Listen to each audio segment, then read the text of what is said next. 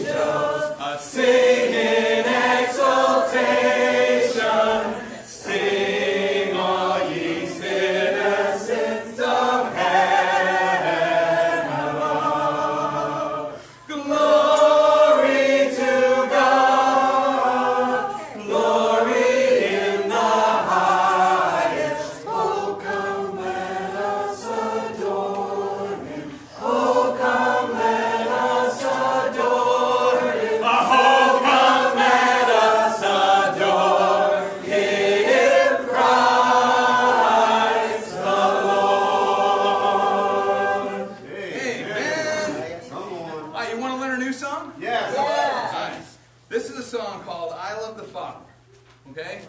It goes like this, and we'll sing it for you, we'll demonstrate it for you, and then we're going to split the room and do it in a round. Everybody's got to sing. I mean, I show up, I'm going to make you sing. We know. So, the way it goes, hold on, I want to make sure that I pitch this one right. I love the Father, I love the Holy Son, I love the Spirit, I love the three in one. He created me, redeemed, and sanctified me. Praise Him, praise Him, praise Him, praise Him, praise Him, praise Him, praise Him, praise Him, praise Him. You got it? All right. It's pretty simple. If you know, it's like an old kid song that got converted to a spiritual song. The, the old kid song is I Love the Mountains, I think it was. Okay. So anyway, so here's the fun part, okay? First we'll sing it all together. That way everybody gets, and we're going to do a round. It's going to be wicked fun. That's what we say here. Wicked fun in New England, right? All right, here we go. Two, three. I love the Father, I love the Holy Son, I love the Spirit, I love the three in one. He created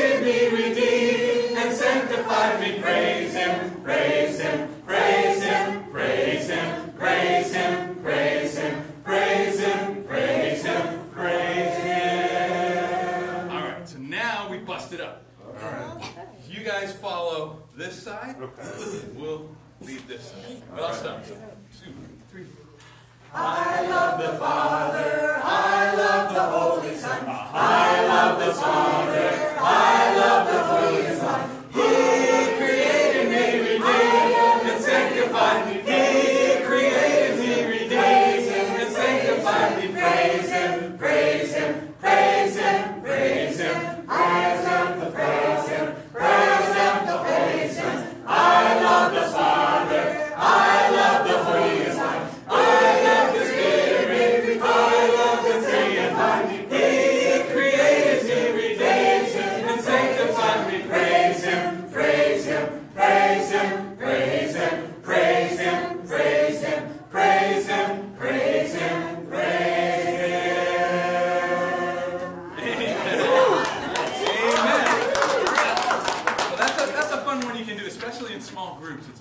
that. To sing like that.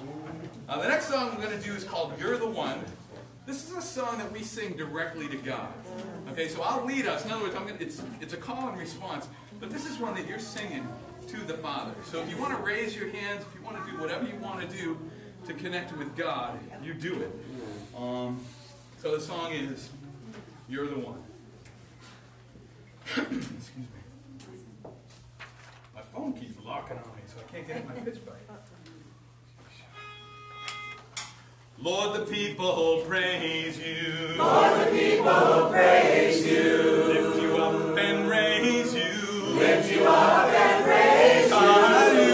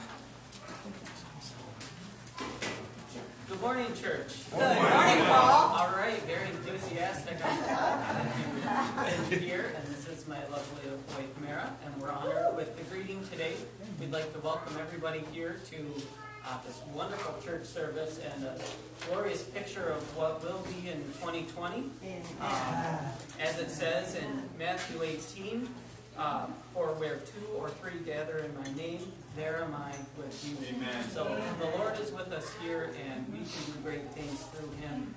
Let's keep gathering. Let's not give up the fellowship. Um, let's grow the fellowship and really enjoy what God has given us. This, this wonderful gift that we get here on church until we get to be with Him in heaven. Amen. So I'm going to say, uh, um, hand it over to my wife. Do you want to welcome or say anything Yes. So, so I'm going to welcome everybody also. My name is Mara, in case you didn't catch it. Um, but I just want to point out to you, for those of you visiting with us today, there are these cards. You can find them back there at the table if somebody didn't already give them to you.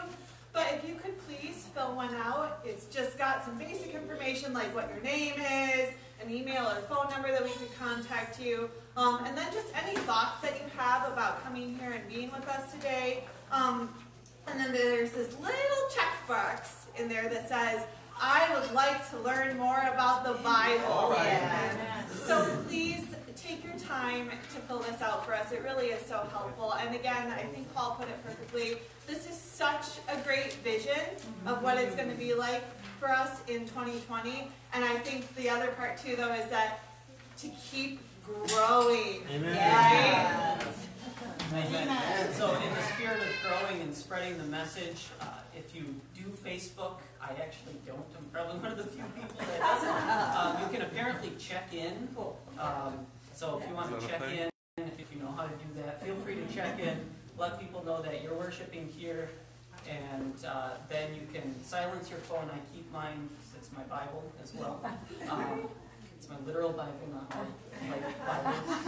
And with that, I'm going to say a prayer and we're going to get to a, a wonderful service.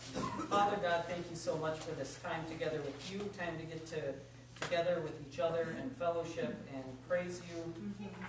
Um, Lord, I just pray for the service. I pray for this uh, winter that's starting out with a bang. Keep us all safe, please, Lord, um, for the next six months as it's going to snow. And um, we just pray that the words today come from you. Every word out of my mouth, every word um, that comes out of anybody's mouth is from you and glorifies you.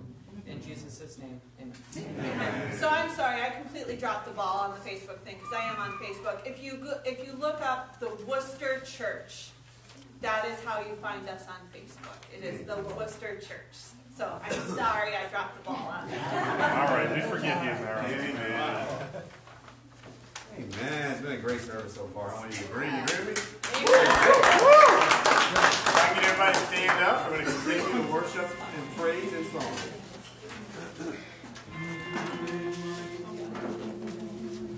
Encourage my soul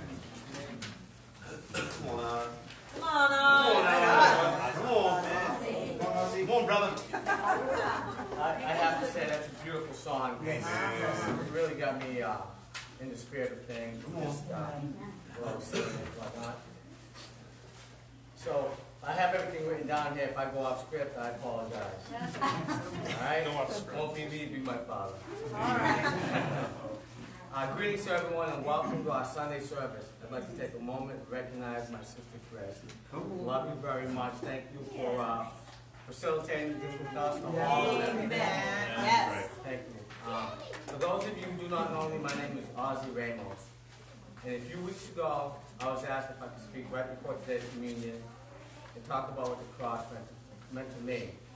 I found it to be a little difficult and in fact challenging. Hmm.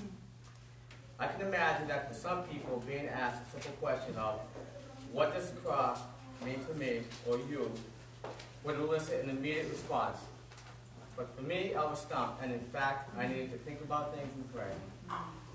What actually happened was it caused me to reflect my own personal life, my walk with the Lord, and I soon realized that my walk with the Lord has been like a roller coaster ride. It's had high points and low points. That was also filled with many times of joy, heartbreak, brokenness, and bitterness. I'm sure most of you can probably relate. Last 26 years, I've been in law enforcement. The last four years, I, I've been a detective. I've seen a lot of ugliness, evil, things that have really hurt me on the inside, hurt my soul. And I would have to say that if it wasn't for my walk with the Lord, it would have ate away me. Yeah. Um, so I'm truly thankful that I have that personal walk with my Father, Yes. that I can just get through my day and say, Lord, thank you. Whatever ugliness I see, whatever hurt I see, whatever pain I see, I can give it back to Him. And He can carry that for me. And I allow Him to utilize me so I can be what somebody needs me to be at that very moment, showing tenderness, showing mercy, be that light that He needs me to be. Amen. But through it all, I noticed one thing. No matter how many times I walked away from my father and I forgot about him, and I was content wallowing in my own sin, my God was always faithful and patient, and he remained with me no matter what. My highs and my lows, God was always there with me. And that's, that's just so beautiful when you think about it. My father says in Romans 8, verses 38 39, For I am convinced that neither death nor life, neither angels nor demons, neither the present nor the future, nor any powers, neither heights nor depth, nor anything else in all creation will be able to separate us from the love of God that is Jesus Christ our Lord. Let that marinate for a little bit. Mm. Mm. Let that sink in. His love is so incredible. Mm. He will never leave you. Our Lord's love is endless and unimaginable. It's pure agape love. In fact, our Lord loves us so much that He went to the cross for us. He reminds us of this in John 3.16. For God so loved the world that He gave His only Son, that whoever believes in Him shall not perish but have eternal life. My Father made me a sinner whole again. My Lord washed me of my sins and made me new again. I no longer must wallow in my sin anymore. My Lord went to the cross and died for me because he loved me. My Lord wanted to wash away my sins so that I may live in eternal heaven with him by his side.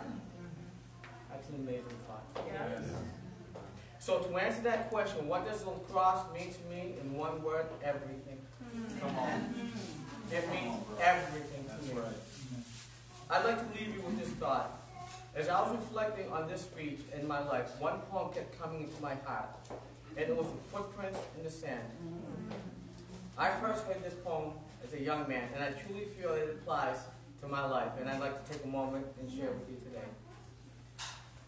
One night, I dreamt a dream, and I was, as I was walking along the beach with the Lord, across the dark skies flashed scenes from my life.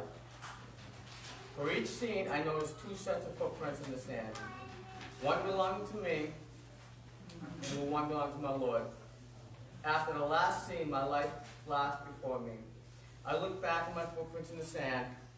I noticed that many times along the path of my life, especially at the very lowest and saddest point, there was only one set of footprints. This really troubled me, so I asked the Lord about it. Lord, you said once I decided to follow you, you'd walk away with me all the way. But I noticed that during the saddest and most troublesome times of my life, there was only one set of footprints. I don't understand when I need you the most, why would you leave me?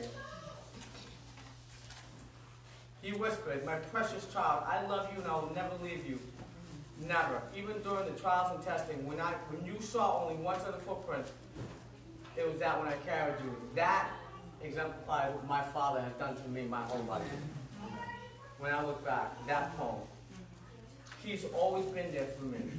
In my darkest of darkest, my lowest of lows, my dad has carried me. It's just an amazing thought, and I am so thankful for him, and that I repay him. I can't repay him, but I go out there and I try to be that light for him. Amen. For those people who are hurting out there, that mission field, and, and, and I'm thankful for that opportunity. And I said, Lord Jesus, thank you. Use me however you want to use me. I am your servant. I am your instrument. Let me go out there for you, Father. Um, so in prayer communion, Lord, I'd like to say thank you for your faithfulness, for your love, for your wisdom and patience, and for dying on the cross for us. You're truly amazing, Lord Jesus. I pray these things all in your name. Amen. Amen.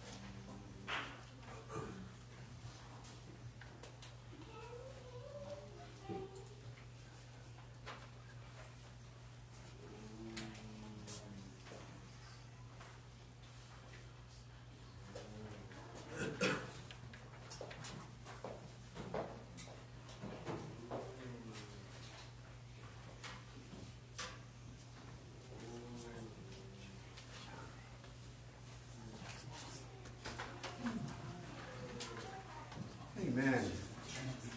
That concludes the uh, communion portion of the service today. Uh, take a moment to just thank Ozzy for sharing. Awesome job. Um, before we continue, uh, right now we're going to transition into um, contribution portion of today's service. So please join me in prayer for the contribution. Heavenly Father God, thank you once again for this opportunity, the opportunity to uh, come together in your name.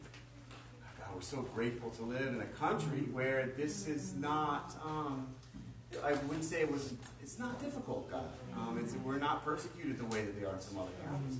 Uh, God, we want to pray for our brothers and sisters in these countries that are suffering uh, very bad persecution right now. Some people having to meet in basements in secrecy uh, under the uh, threat of having to go to jail. Uh, God, we are forever grateful that we were born here. We don't have to do that. God, as we give money right now, we know that we're giving in your name so that we can bring the gospel to people like these, the least of these, the ones who is difficult to hear the word.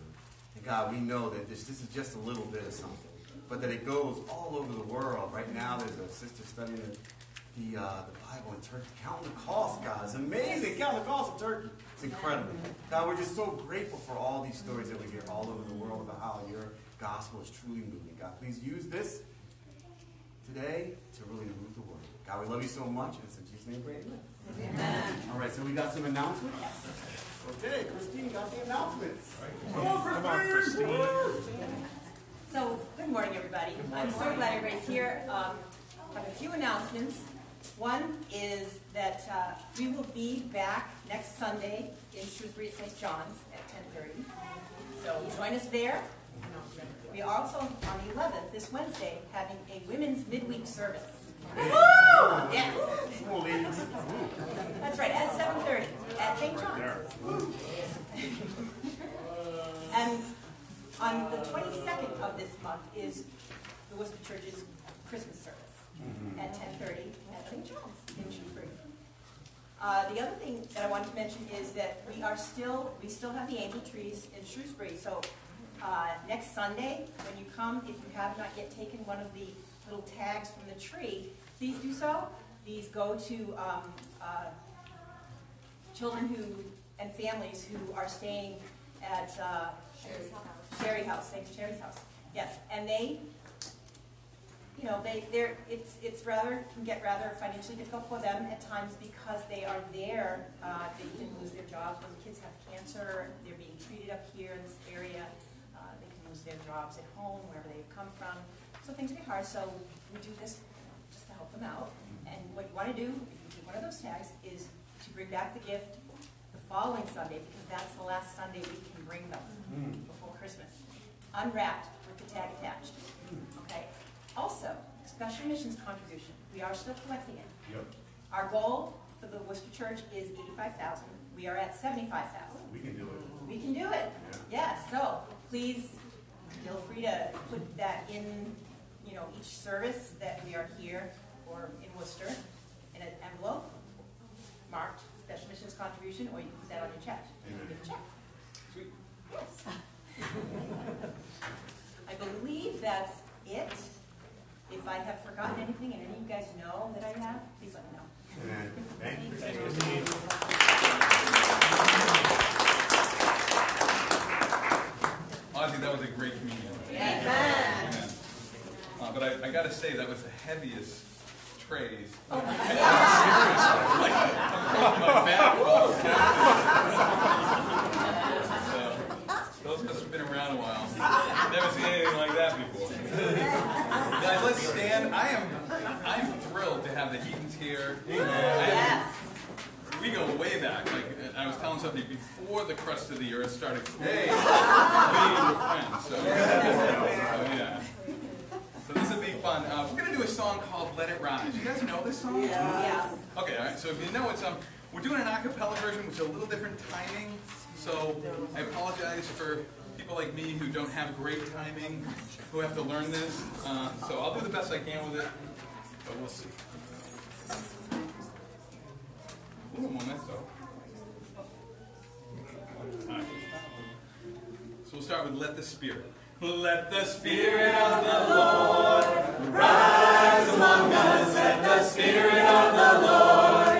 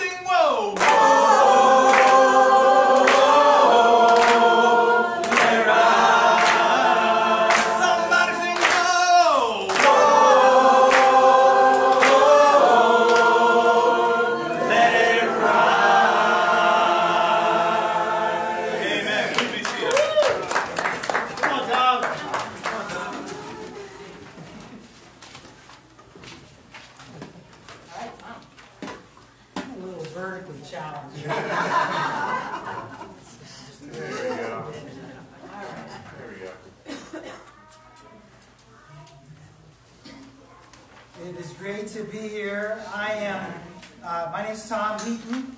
Uh, my wife and I, my wife Kathy and I are at the Pioneer Valley Church of Christ, so we're really excited to be able to uh, share this time with the uh, Leominster, uh, Fitchburg uh, uh, region here, if you want to call it that. Um, we, um, a little, I'll just give you a little background on, on who I am, uh, who Kathy and I are. We uh, have been in the Pioneer Valley, in the Springfield area, for about 26 years. We were in Boston for eight years or so, and we knew people like Bob and Maggie in Boston, and uh, there's probably others. And of course, uh, Ivan, I know uh, from playing basketball many, many years ago. Uh, so we kind of go back. And then Rich already alluded to the fact that, uh, that, that we knew each other at, at one point in Boston as well. Go back. I seem to recall, uh, like, the, the legend was that he was a rock star. Uh, he was some kind of rock Yes. He was. uh, lead singer of some band or something like that. Uh, maybe I'm All rumors. I that. I don't know. Certainly his voice is awesome, right? So, wow, what a encouraging, what an encouraging service this has been so far. Just, uh, Yes, the singing has been great. Uh, this room, you know, the, the, the sound really uh, stays in here, you know, and uh, it really uh, is inspiring to sing together in Ozzy. Wow, that was all. That was all heart, you know, and uh, just really hearing him share about his relationship to God and what God has meant to him uh, just really helped me. I know all of us connect with the cross. Um, so, uh, you know, we're just inspired to be here. You know, kind of, it's inspiring to think about the sort of the mission mindset of this group of people. You know, I, I was reminded of uh, the, the tribes of Israel, like Manasseh, Reuben, and Gad. They were on the east, their, their land was on the east side of the Jordan.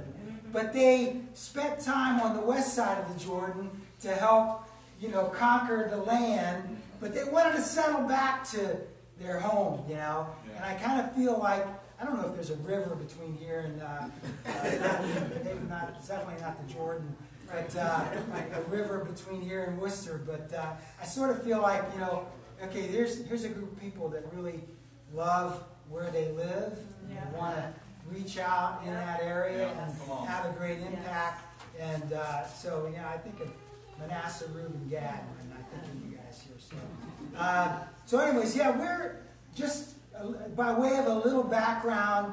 Uh, Worcester and Springfield, the Pioneer Valley, sort of combined with working together in planning to plant uh, the church here and to help, uh, you know, set set you guys up for success in this area. So it's kind of great to keep that connection going. And we've been praying for you. Pioneer Valley uh, sends greetings. And uh, so I'm just going to share a little this morning about some things that, that I've been working on. Hopefully it'll, it'll help you all. You'll get something out of it. Um, uh, on the theme of, of intimacy with God. Intimacy with God. And so you can turn over to Psalm 118. We're going to stay mostly in, uh, did I say 118? I'm not 119 now. Uh, Psalm 119. There's uh, quite a bit longer, quite a few more verses in Psalm 119. And I'm also going to, I'm going to ask uh, about some participation here. Can I who, who feels like they would like to read some scriptures this morning? I have four, I need four people to read scriptures. Hopefully this isn't too complicated, but um, you know, verses from Psalm 119, um, if four of you could read, and I've got a handout here, and there's a number on the top of the page, uh, and what you'll read in that order. Okay, I got two ladies. How about some guys? Uh, all right, Rich. Somebody maybe other than Ozzy who's already given to us so much. So uh, later on, I'll prompt you, uh, and then if you're a one, you read the one scriptures. If you're a two, you know, and just successively. Okay. So I'll prompt you at the time when we're going to do that. Thanks for being willing to do that. You know, a, a couple years ago, uh, just give you a little background on where I'm coming from today. I was challenged about my relationship to God, and and uh, a brother said, "Well, hey, read and, and pray uh, through the scriptures. You know, pray the scriptures, and that will enliven your your prayer life." So I started praying through Psalm 119, and I was praying through the Psalm uh, every day. I did it for, I don't know, several months. And uh, in doing this, it really, you know how the Psalms are, they just really help you connect with God. And hopefully it'll, Yes. you know, inspire you this morning a little bit. It certainly did me. It, it really enlivened my prayer times. And, but I was also struck with um, the heart of the psalmist that was really came across in uh, Psalm 119. His incredible heart for God and what a heart he had for God's word in particular. And I began seeing, of course, you know, this is sort of uh, makes sense why I don't have a hard time connecting because I'm kind of analytical. So what I ended up doing by reading and praying through the Psalms so much is I started to see a, a process or almost like a formula in, you know, it sort of kind of jumped out at me. You know how it is when you read something frequently and you really put your heart into it, you start to see some trends for approaching your relationship with God. So that was that's some of the background here. Now Psalm 119, again, this is pretty well known. If you know this already, please indulge me. But uh, you know, Psalm, this, the book of Psalms covers a wide time frame. It's generally believed, though, that Psalm 119 was one of the later Psalms. It was written uh, later in history. The author is thought to be a relatively young man. Some, some have conjectured that it was actually Ezra, uh, but uh, that, that's unknown. But he, whoever he or she was, wrote, uh, was an apparently afflicted or persecuted mm-hmm. in a pretty significant way when he, when he wrote this prayer. there's 31 references, 31 references in Psalm 119 to the persecution or affliction that he was dealing with. So it's obviously a major theme of this psalm. Right. It's not going to be a theme that I'm going to talk about this morning, but that's definitely something that comes out as you read through Psalm 119. The other incredible feature of this psalm, and you probably know this, is, is that the psalm, Psalm 119 is actually an acrostic. It's, a, it's, a, it's based on the Hebrew alphabet. There's 22 letters in the Hebrew alphabet. Okay? So there, uh, each stanza, each eight verse stanza, is dedicated to one of the letters of the Hebrew alphabet. There's 22 uh, letters, there's eight verses in each stanza. 8 times 22, there's 176 verses in Psalm 119. It's the longest chapter in the Old Testament, in the Bible. So the poet, obviously, this, this man or woman of God, was creatively using an, you know, an inventive way to, to glory in God's Word. That in and of itself is pretty inspiring that he would think of doing such a thing. So it's been referred to as the ABCs of praise, power, love, and the use of God's Word, the ABCs. And as I prayed over uh, the psalm over and again, uh, I, I emphasize in my thoughts and in my focus verse 18, which says, Open my eyes. Open my eyes that I may see wonderful things in your law. And I, I really begged God, I begged God through this verse many times to open my eyes to see things that I'd never seen before. And I would say, God is faithful. Amen. Amen. He opened my eyes to a lot of things, I think, in this psalm and continues to do so. Uh, he, the psalmist here, focuses like a laser in Psalm 119 on God's Word. Uh, but but I started to see these trends. Like I said, there were I so I started. I'm going to categorize every verse in this psalm. I, I saw like six different categories that these psalms tended to fall into. Each of these verses, uh, and and I was going to count the number of verses that fell into each category, just to see his focus. You know, all these kinds of exercises I was kind of doing. I know I'm a mess, right? um, so I'm not even going to tell you what the six are. Some, if, you, if you're interested, I'll tell you later. But the, third, the, the last one was one that I'll focus on this morning, which was how does the psalmist feel? How does he feel about God's word? I'm, a, I'm a, like I said, kind of a technical, I'm an engineer by training.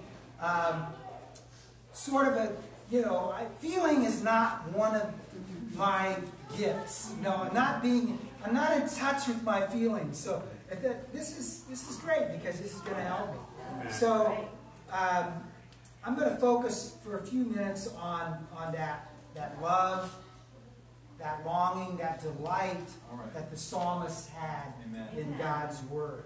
And specifically, intimacy with God. And I thought, instead of the ABCs, I'm going to do the XYZs. The XYZs of intimacy with God. Uh, just to change it up a little bit, all right? So, all right. the first one, X. And I'm sure you're going to and I had to do some gymnastics to come up with it. All right. It's you know how you end you know you send a love letter you end it with what? XO XO XO right? Yes. Right. That's my first point. Okay. The emotion that you would express at the conclusion of a love letter. Amen.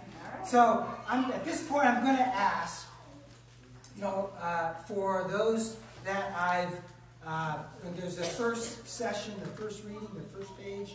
So starting with number one, right, to read through these nine verses one at a time, please. And please, passionately, amen, uh, as much as you can. If you feel like you need to stand up, go ahead and do that. And then who has one? Was that Christine? Okay. Mike?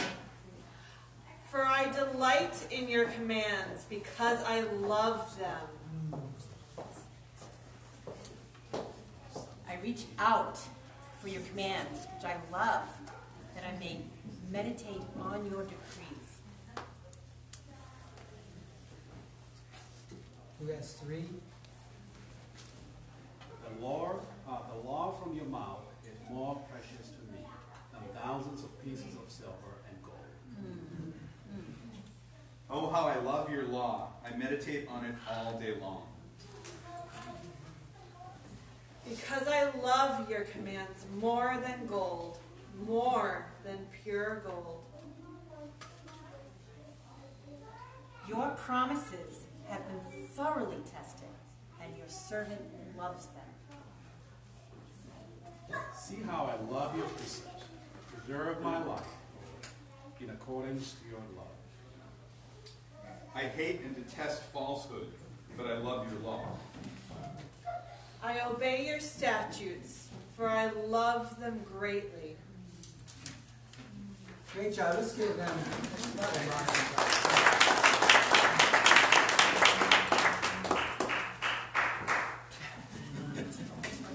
Grasp, I don't know if you can grasp the passion that the psalmist expresses here. And I, I, I like some of the even the gestures. I reach out for your commands.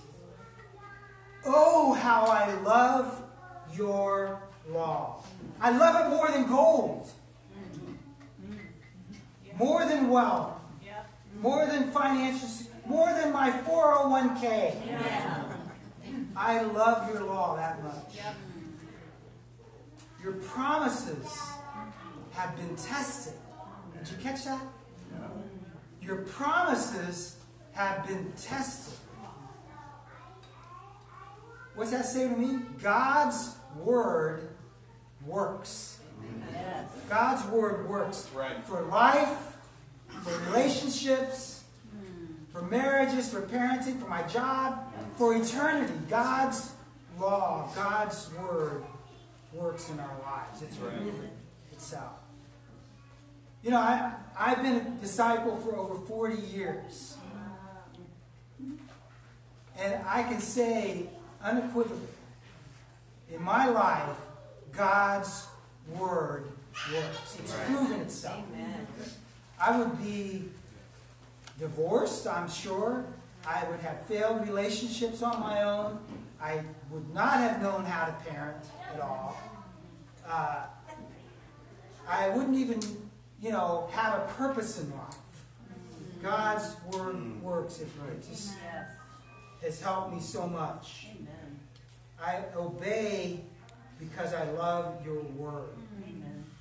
Do not forget this point that God's word changes lives. It does. It changes lives. We take that for granted.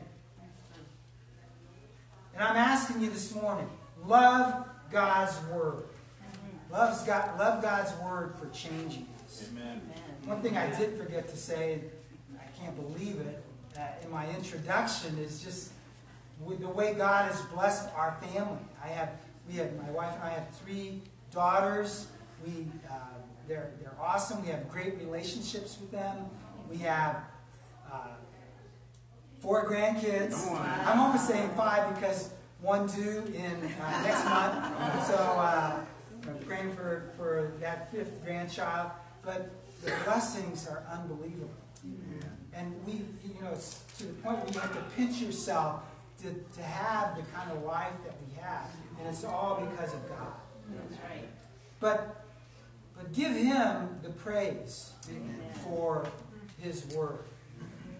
You know, sometimes, you know, I guess I would fall into a category of an old, as an older Christian. Some of you may be as well. But just, just try to remember how much God's word meant to you early on. Early on is remember that you you like loved every morsel. You know, you just marveled at God's word. You were amazed. You couldn't wait to just like find that next revelation. That's really what God's word is intended. We cannot lose that attitude. And if we've lost it or we're fighting to keep it, you know, don't give up. You know, get it back. Go for it. Be, you know, just diligent in trying to to get that attitude back. Yes. So exhume the truths on the theme of the X. Exhume the truths from God's word. Excavate it. Mm-hmm. You know that in verse 130 in Psalm 119 it says, "The unfolding of your word." You know, uh, teaches me. You know, that tells me that you've got to work at it sometimes. You've got to. It's not right on the surface. You can just pluck it out. There are many verses. There are many themes that are like that in the Bible, but the really deep connection that we need to get with God, we need to dig for it. We need to work for it. We need to exhume the truths of God's Word. You know, we uh, used to have a couple dogs. We had them for uh, like 15 years. We had these dogs, and sadly, last year, but inevitably, 15-year-old uh, dogs, we had to put both of them down. So, but one of the dogs, a mutt, and he was he was a lab mix, a lovable dog, but he was a digger. You know, our backyard was like full of holes. Uh, it was like a moonscape. It, would, and it was like to the point where, you know, I tried to fill the holes and it was useless. I mean, we would just go dig more holes. Um, and last spring, or this, this spring, you know, was the first spring that we didn't have the dogs. So Kathy says, we got to fill in this backyard. I can't tell you how many loads of dirt, topsoil I had to bring in to fill all these. So the dog didn't, he didn't move the dirt off site. I mean, it was still back because the holes were there. So we had to just bring it back and we're trying to remediate that backyard. But he did, he, you know, Kathy just said, we need more topsoil. And it was driving me nuts. But the dog, he was just a digger. Yeah. I don't know what he was digging for. he just, he knows, he knew, but I did maybe new smells, but he was passionate. He was passionate about digging. And I'm thinking, if only I were that passionate in digging God's Word, you know, begging God to open my eyes so I could see wonderful things in His Word. Crave that new insight, that new concept. Give God the glory, the love, uh, that when you find it. And when you're taught something new in God's Word, you know, give God the love. Amen. So, exhume it, but exude it. Okay? Exude the love of God and His Word. First of all, in your prayer life, imitate the psalmist's passion for God. You know, if you if you're having, if you're struggling with passion in your prayer life, please, you know, read Psalm 119. Read a, your favorite psalm and try to uh, imitate the passion of the psalmist. Right. Uh, it's it's been incredibly rejuvenating for me. I I go back, although I started this a couple years ago, I don't read or pray Psalm 119 every day, every day now, but I, it's definitely my go-to. Right. You know, it's definitely my go-to, and I, uh, I, I keep doing it to strive for that intimacy. Rather than, you know, just mumbling through your prayer, or just maybe reading off a prayer list or something from a prayer list, which is good. I mean, we need prayer lists. I'm not trying to discourage you from that. But Demand from yourself an intimacy with God. And exude not only in your prayer life, but in your interactions with other, others. Give God the glory for the truth in His Word, for the, for the beautiful things that you see in God's Word. Uh, you know, I, I confess, sometimes when I find, you know, something new and exciting in God's Word, uh, I'm prone to think, you know, I'm amazing.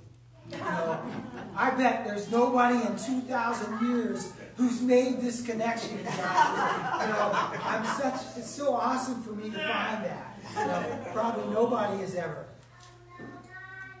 No, God is awesome. God is awesome. It's there. It's there for us to find. It's just there. We need to, to search it out. We need to dig for it. Uh, we need to exhume it.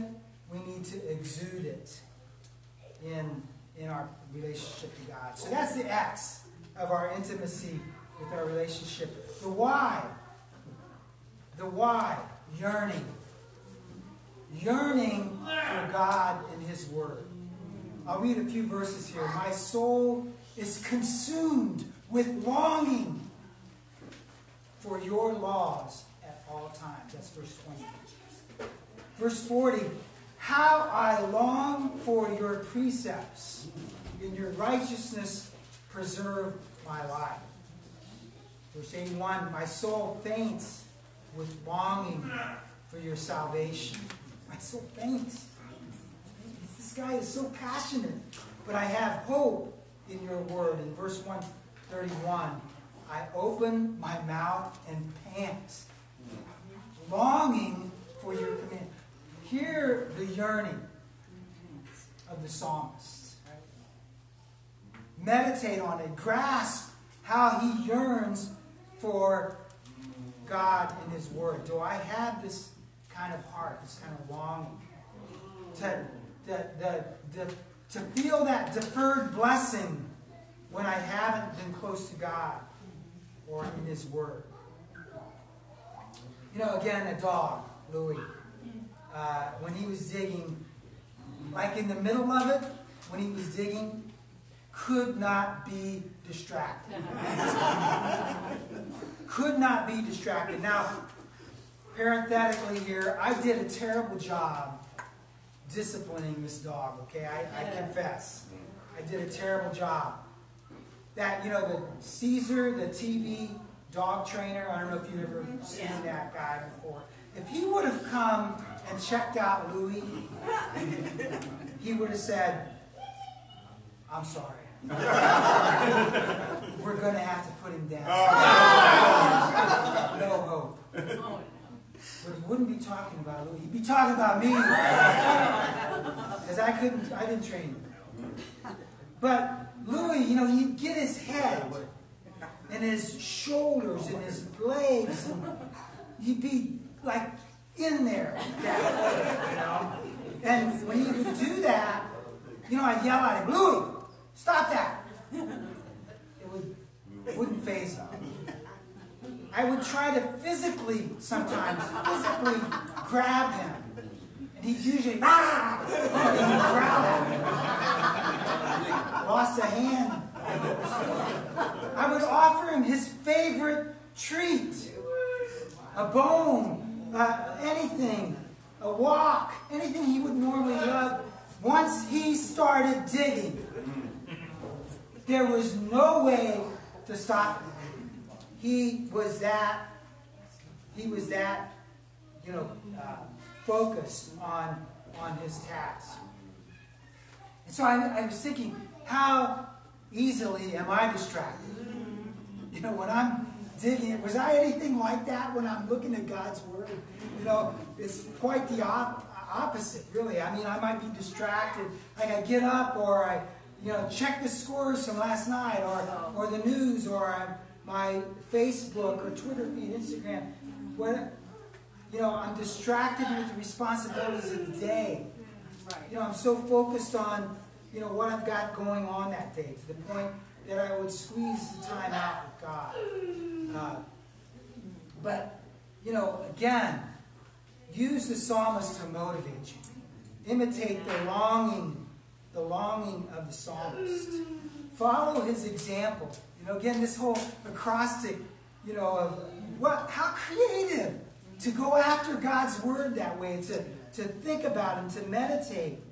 And, and be creative about about how you go after God's word. You know, if you look at the Psalms, there's Psalm 119. There were different things that I would do throughout this, this time of really focusing. So uh, it says, okay, I pray, I get up before dawn and pray. So I would pray through Psalm 119 before dawn.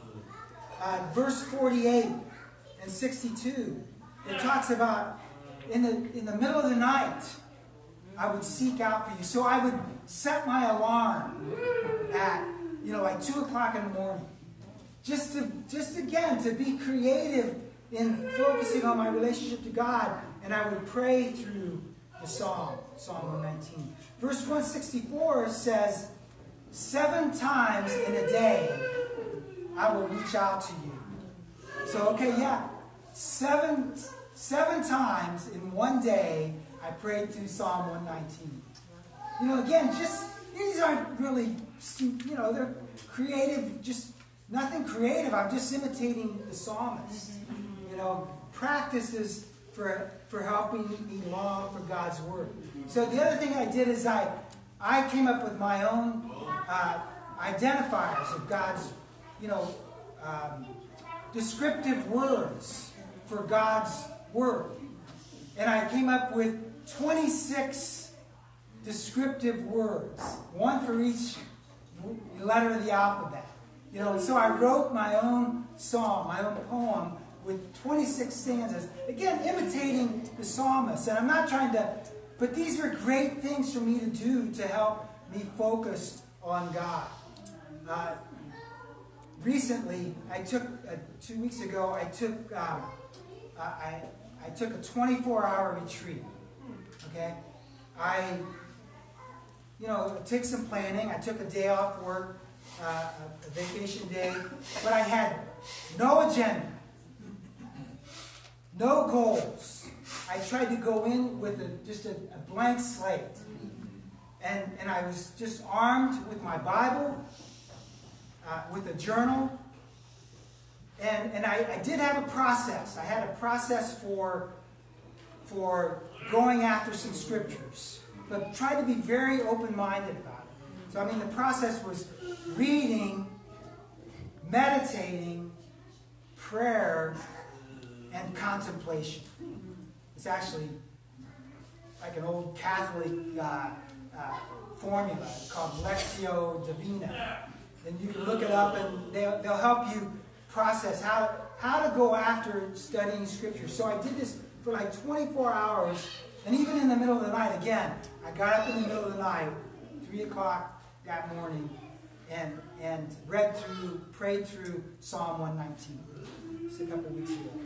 But it was so refreshing and powerful for me to be able to do that, to just a blank slate. Empty. Let God, let His Holy Spirit, what do you want me to see from this scripture? What do you want me to see about my life? It was so refreshing and powerful. So intimacy with God demands our longing, our yearning. So the X, the Y, and the third is zeal. Zeal for God's Word. So if I could ask those, uh, the, the readers again, uh, to, to read through those scriptures, that'd be great. And you could give the, the site as well, right? The verse. So this one is verse 14. I rejoice in following your statutes as one rejoices in great riches. Verse 16, I delight in your decrees. I will not neglect your word. Verse 24, your statutes are my delight. They are my counselor. Verse 35 Direct me in the path of your commands, for there I find delight. Verse 69 Though the arrogant have smeared me with lies, I keep your precepts with all my heart. Verse 70, their hearts are callous and unfeeling, but I delight in the law. Verse 103, how sweet are the words to my taste, sweeter than honey to my mouth. Verse 111 Your statutes are my heritage forever, they are the joy of my heart. My flesh, verse 120, my flesh trembles in fear of you, I stand in awe of your laws. Verse 136 Streams of tears flow from my eyes, for your law is not obeyed. Verse 139, my zeal wears me out, for my enemies ignore your words. Verse 143 Trouble and distress have come upon me, but your commands give me delight. Amen. Thank you. The psalmist delights. He's emotional over God's word, over his relationship to God. He states his love for the word 11 times in Psalm 119. He expresses his joyful emotion about God's word almost 30 times just in Psalm 119. His zeal for God's word is so palpable, it's so real. As you read through and just contemplate what, what he's striving to accomplish as far as zeal in his relationship to God, in his word. You know, I was thinking about you guys and your love for your area, you know, and wanting to see God's kingdom grow here, Amen. where you live. It takes a vision, doesn't it? You got to have a vision to see something that's not there. To see something that, you know, is God's vision, not just yours, not just uh, some leader of the church, but your vision for your neighborhood, for your city, for the whatever it is, 80 to 100,000 people in Leominster, Fitchburg area here. You know, to have that vision, it takes a zeal. It takes a focus and a zeal to have that kind of vision for your area. And I commend you for it. It's awesome. It's inspiring. Thank you for having a vision for this area, for the many souls that can be won here. Right. You know, and I think about you know, this joyous, heartfelt response that the psalmist displays. Contrast that to verses 69 and 70, which our brothers and sisters read. Though the arrogant have smeared me with lies. Verse 70. Their hearts, their hearts are callous and unfeeling. Their hearts are callous and unfeeling. You know, it's easy to maybe step back and say, wow, they, they've got issues. You know, they're so hard-hearted. Well, They, they, go, they don't let God's word penetrate. But I'm convicted by this as well. I can, I can get a hardened heart where nothing penetrates. Maybe day after day after day, I do my quiet time or my time with God, or maybe I, you know, miss a few days, which is, which is, you know, understandable, but nothing penetrates. Maybe you wouldn't, maybe you draw your line in a different way. Maybe you would never think of missing a service, or you wouldn't think of missing a midweek or whatever. But week after week, nothing gets into your heart in your quiet times. Nothing motivates you. Nothing convicts from God's word. And alarm bells go off in my head when I get, when I feel myself get to that point where nothing is penetrating. Not, I don't feel motivated. You know, I, you're waiting on somebody to maybe give you a good sermon or a good talking to before you're, you're really motivated. If we're waiting on someone else to motivate us, our, our perspective is not, is not right. Certainly, we, we need each other. We need to motivate one another. But we can get that callous and hard heart as well, where nothing penetrates. It reminds you of, doesn't uh, Jesus' quote from Isaiah, Matthew 15. They honor me with their lips, but their hearts. It's a spiritually insecure place to be.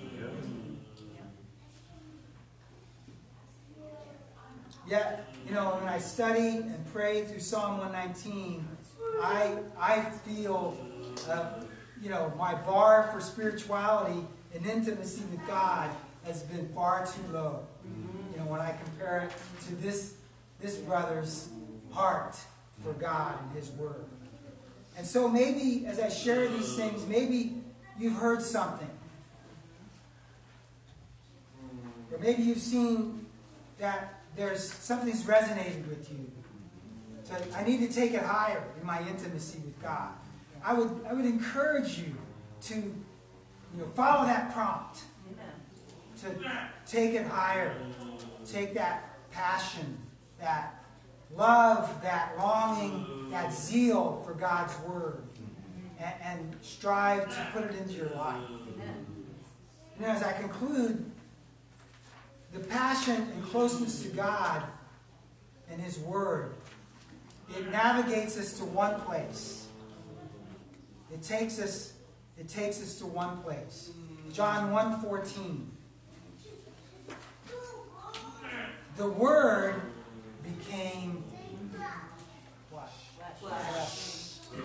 The Word became flesh and made His dwelling among us. All of this love longing and zeal for God's Word, it directs us. It directs us to the person Jesus Christ. That's right. The triumphant conclusion of loving God's Word becomes concrete and real in Jesus.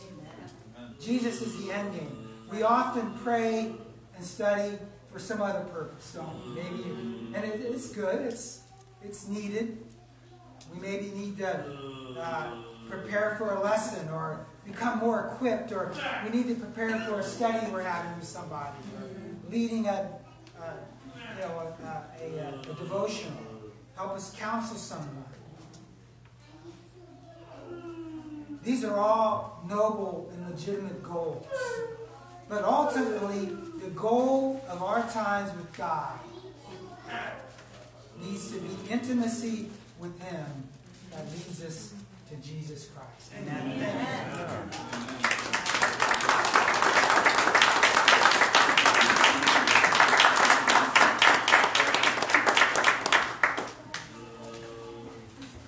Amen. Amen. So one of the reasons why you did that 24-hour devotional thing was for me.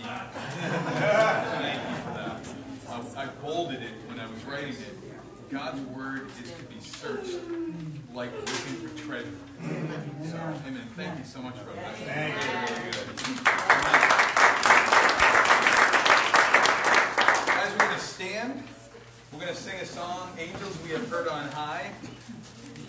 Um, it is in the book, number 554, but on the sheet we've got an extra verse. So if you're looking in the book, you're going to miss a verse. So look on the sheet. Okay. That's what I got to do.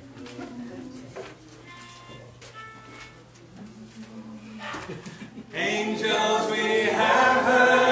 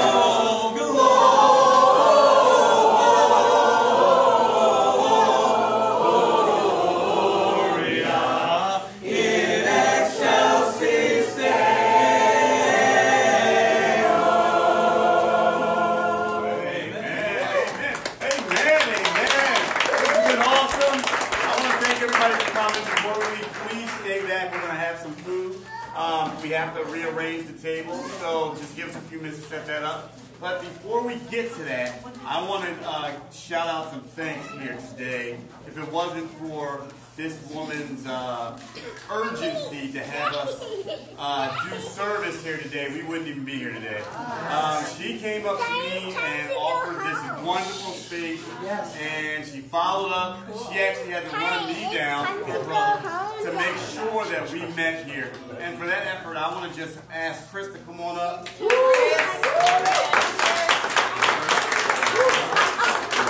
on up. Thank you so much for uh, letting us use this space and this is just a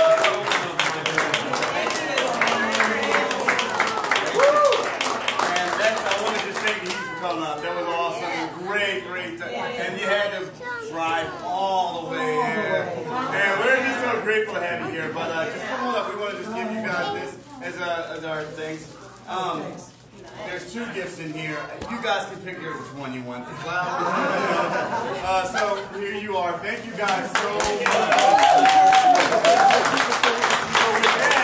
I just want to ask everybody to be a little patient. We're going to have to move the chairs around. Hold on a second. Oh! One of my more spiritual brothers reminded me that I need to pray for food. Yeah. So let's uh, go to God in prayer for food. Heavenly Father God, thank you so much for the desire that you placed in our hearts to be with your Son.